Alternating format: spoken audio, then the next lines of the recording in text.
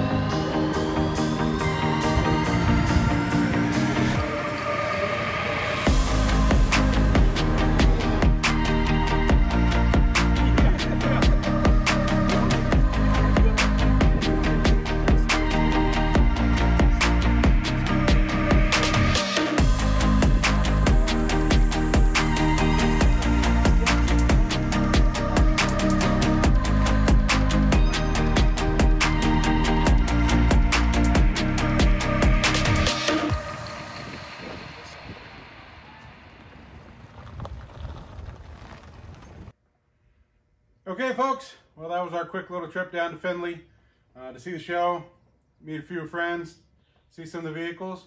Uh, I didn't buy a ton.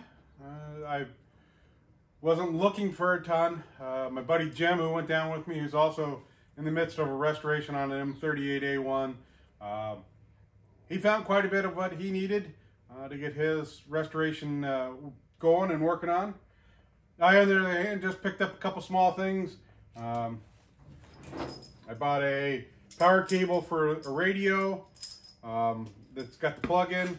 So on these M38s, there's supposed to be a plug proper down here that runs to the batteries. Mine is wired just direct to the batteries. Um, so I was, uh, you can find the plug kits to go from the battery to the plug uh, from a lot of the vendors. Uh, but what you can't find is the actual power cord from that connection back to the radio. Um, so that was my main thing. I wanted to find this power cord first uh, before I ordered the, uh, the from the battery to the uh, connector. And so now that we have this, we'll go ahead and get that ordered and that'll be uh, a little bit of a project to get that installed. Uh, and just one more little thing to finish up on this Jeep as we keep, you know, putting those little small things in it to make it a little more correct, a little more refined, a little more uh, just the way I want it. So, also while we were there, um, our friends at Weeby Webbing, Dave Weeby, Dave and Donna at Weeby Webbing, um, I, I talked to them a little while ago. I had them make up set of uh, blackout curtains for the uh, 725 ambulance. And so they had those for me there, so I was able to pick those up. So all in all, I didn't buy a ton of stuff, but uh, I did have a good time. Uh, I got to talk to a lot of good friends, a lot of, good military friends uh, that I haven't seen in a little while, especially all winter. And uh, so we're looking forward to uh, more shows coming up. But in the meantime, uh, we're going to be working on Memorial Day Parade. It's going to be next weekend. And so we'll be we'll be working. That'll be the next episode. So we'll film uh, the Memorial Day Parade and have that ready for you guys for the next week. So thanks a lot. Thanks for watching. We appreciate it. Um, if you haven't already, like always, hit the like button, leave a comment, and if you haven't, please, please, please hit the subscribe button. Uh, we appreciate uh, every little bit uh, from all our viewers, and we love hearing from you. So until the next week, have a good day.